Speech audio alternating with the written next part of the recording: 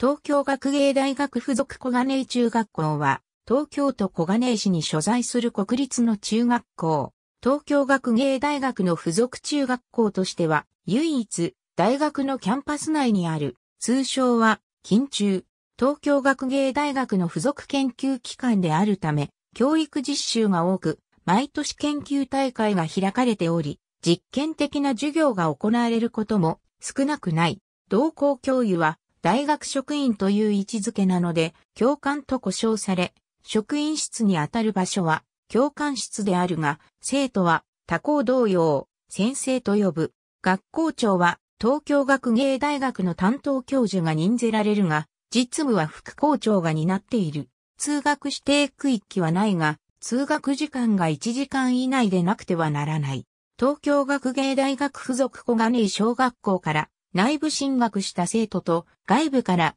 中学受験をして入学した生徒で構成される。東京学芸大学には附属高校もあるが、中高一貫教育制度ではないため高校受験は全生徒が必ず行うこととなる。全校規制のため定期講座は1学期2回、すなわち年4回である。ただし3年時には校内テストと教科書中心の授業はあまりなく、個性的な授業が多い。季節によって部活動の時間が変わる。下校時間が早いこと、高校入試を常に意識しなければならない状況などのため、必ずしも部活動は活発とは言い難い。運動部文化部交渉は前身の豊島市販付属の交渉であったなでしこの花である。なでしこは姿が清楚可憐でその強靭な生命力のため厳しい気候や荒れた土地にも耐えて花を開くことにあやかったとされる。下に述べる通学服の襟には全員この交渉を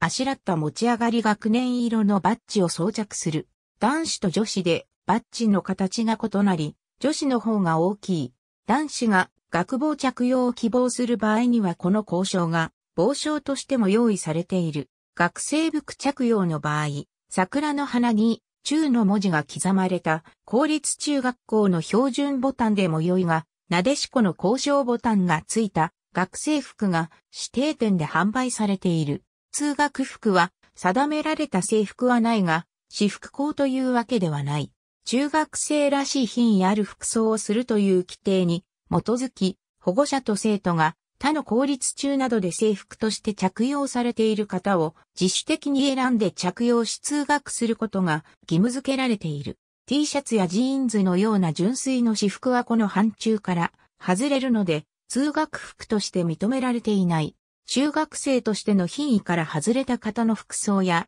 着崩しについては生活指導が加えられる。この規定に基づき、かつては大半の男子が詰襟学生服を着用したが、多くの公立中で制服がブレザーにモデルチェンジされる流れに影響されブレザー着用者が増加している。付属小金井中学校から東京学芸大学附属高等学校へ内部進学する生徒は全体の1、3程度、内部進学の合格率は9割程度。東京学芸大学附属竹早中学校と東京学芸大学附属世田谷中学校とを合わせた3校の生徒が外部受験生と別枠で競争試験を受け、内部進学者が決定される。内部進学者も外部受験と同じ日に同一の試験を受験するが、二次試験の面接は免除される。付属高校以外では、私立校、都立西高校などの公立校に進んでいる。ありがとうございます。